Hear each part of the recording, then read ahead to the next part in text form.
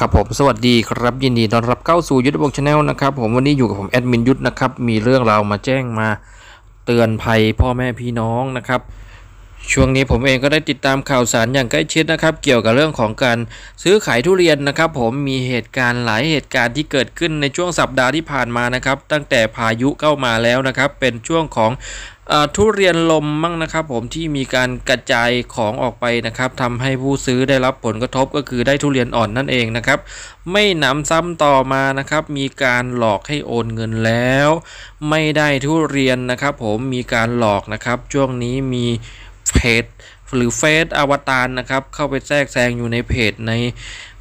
หลายๆเพจนะครับที่มีการแฉกันออกมาตอนนี้นะครับผมก็ยุทธพงศ์ก็ขอเป็นอีกหนึ่งช่องนะครับในการนำเสนอเตือนภัยให้กับพ่อแม่พี่น้องนะครับผมเงินของเรานะครับอย่าโอนให้เขา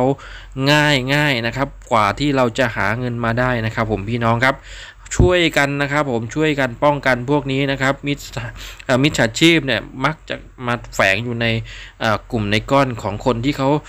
ตั้งใจทำมาหากินนะครับ ก็มีคนที่เขาทำมาหากินสุดจริตนะครับ เป็นพ่อค้าที่ซื่อตรงกับลูกค้าเยอะแยะมากมายครับ แต่โทษทีนะครับ พวกนี้เข้ามาทำให้พวกพี่ๆเขาเดือดร้อนนะครับ ยุทธพงศ์เองก็ขออนุญาตพี่ๆนานาทุกท่านนะครับนำข่าวนี้มานำเสนอให้กับทุกท่านนะครับ เพื่อกระจายข่าวกันไปนะครับ ว่าเรื่องของการโอนเงินนะครับ เงินมันอยู่กับเรานะครับ ถ้าเราไม่มีความมั่นใจอย่าไปอยากได้ของเขาครับ ไม่ต้องโอนนะครับ เก็บเงินไว้นะครับ อยู่กับเรานะครับ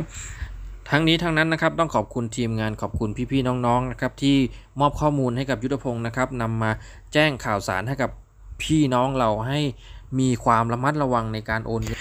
ด้วยนะครับผมด้วยความหวังดีนะครับนำข่าวสารมาแจ้งขอบคุณทุกท่านที่กดไลค์กดแชร์กด Subscribe ให้ยุทธพงศ์นะครับสำหรับวันนี้ลาไปก่อนสวัสดีครับ